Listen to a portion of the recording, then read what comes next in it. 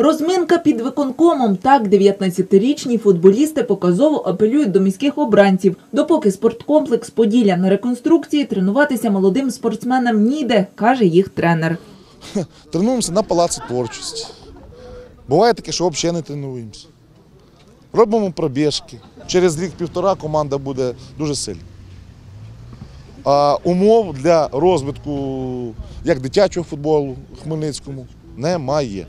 Немає. На протязі вже дуже довгих е, років.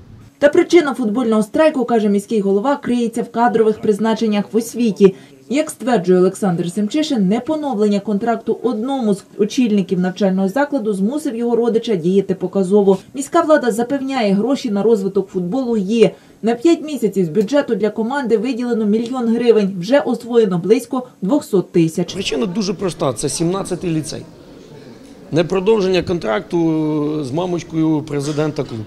І після того, як контракт був не продовжений, після того це от все власне почалося. Да? Якби контракт був з пані Бейдерман підписаний, то її син, президент клубу, як і з самого початку, так і зараз би розказував би всім, що міська влада допомагає так, як ніколи до того ні- ніхто не допомагав. На засіданні депутати розглянули більше шести десятка питань, а от розширити виконком до 14 осіб депутатам вдалося не з першої спроби. Громадські організації, котрих у Хмельницькому налічується більше 80, пропонували свого представника у виконкомі правозахисника В'ячеслава Зарічнюка. Це е, ініціатива громадської ради, куди входило на час висування е, 102 громадських організації, приймати участь у діяльності, життєдіяльності, формувати якусь свою, проявляти свою активність саме в цьому аспекті. Врешті представник від громадськості на таємному голосуванні недоотримав два голоси, тож місце поки вакантне. У залі засідань депутати спробували піти на зустріч учасникам ініціативної групи будинку по вулиці Проспект Миру. Там жителі потерпають від руху транспорту під вікнами,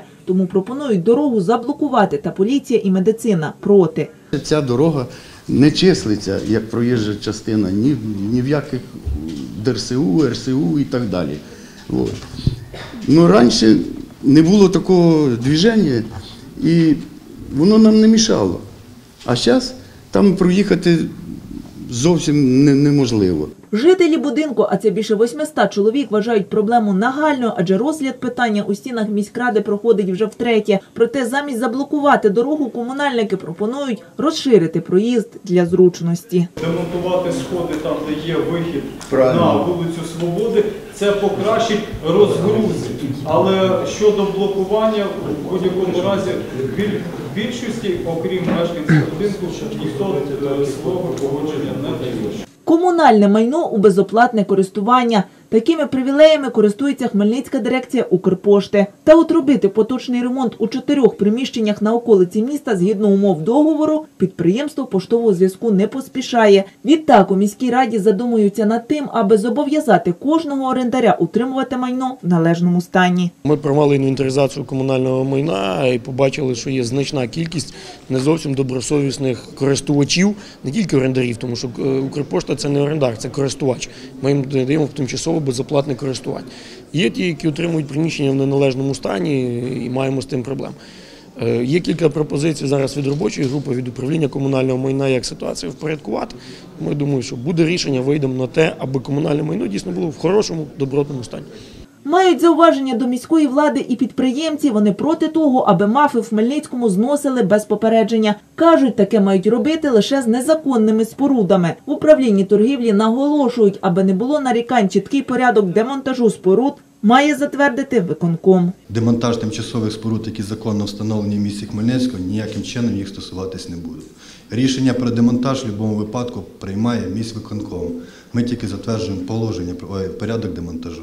На сесії міської ради обранці затвердили програму соціальної підтримки учасників АТО на два роки. До кінця 2016-го для протезування та відшкодування комунальних платежів бійцям з бюджету виділено більше 2 мільйонів гривень. З'явилася і перспектива мати власне житло. Для сімей учасників АТО та інвалідів комунальну власність місто придбає 9 квартир за рахунок пайової участі у будівництві. Тетяна Москальчук, Роман Судаков, підсумки тижня, телеканал ТІВІ 7+.